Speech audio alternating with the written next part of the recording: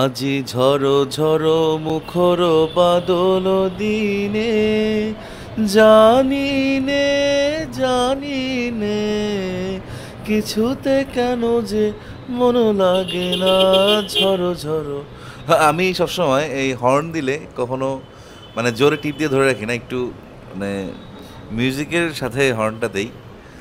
এতে শ্রুতি মধুর লাগে। আজকালকে ঢাকা শহরে আমার একটা অবস্থা হয়েছে হর্ন দিলে পাবলিক কেন জানি চেতে যায়।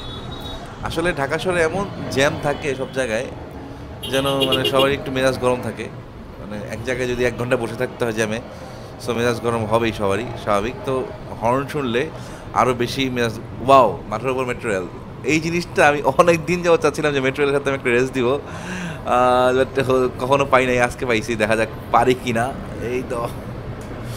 ইয়ে, সম্ভব না বাবা সম্ভব না।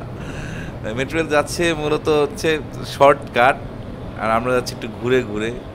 সো আর মেট্রো রেল স্পিড তো অল টাইম একশো এইটটি এরকম থাকে। আর এখন তো আমি বাইক চালাচ্ছি তিরিশ চল্লিশ এরকম। সো পসিবল না।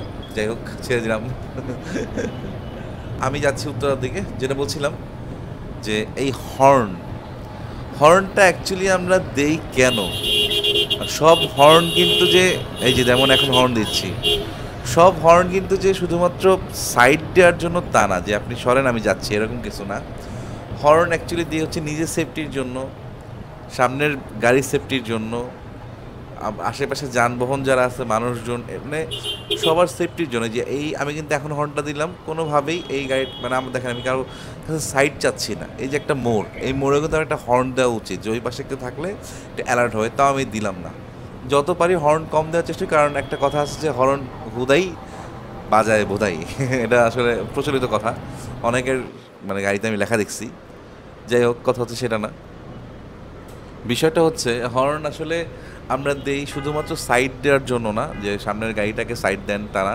আমি কয়েকদিন দেখছি যে হর্ন দিলে সামনের রিক্সায় মানুষ বসা সে তাকায় হচ্ছে একটা মানে একটু বিরক্ত সহিত বলে, এই হর্ন দিচ্ছেন কেন? বা গাড়ি হোক বা যাই হোক হর্ন দিলে কেন জানি তারা মনে করে যে হর্ন দিচ্ছি ওকে বিরক্ত করার জন্য বা সাইড চাওয়ার জন্য। আমার হ্যাঁ আছে অনেকেই আছে যে অযথা হর্ন দেয় রিক্সা বা বাসের বা গাড়ির পিছনে গিয়ে হর্ন টিপ দিয়ে ধরেই রাখে।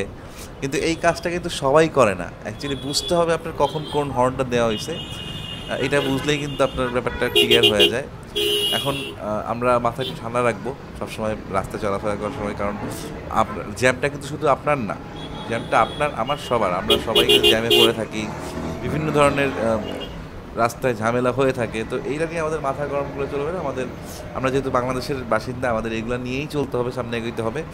সো আমরা সবাই কুল থাকব এবং ঝামেলা না করার চেষ্টা করব। ধন্যবাদ সবাইকে, আর অযথা হর্ন দিবেন না, প্রয়োজনীয় হর্ন দিবেন। সেটা হোক সাইড দেওয়ার জন্য, হোক ওভারটেক বা হোক মোড় বা যে কোনো কিছু। এই জন্য আপনাকে হর্ন সেফটিভাবে ইউজ করতে হবে, আর কখনো টিপ দিয়ে ধরে রাখবেন না কাইন্ডলি সবাই ভালো থাকবেন, আসসালামু আলাইকুম।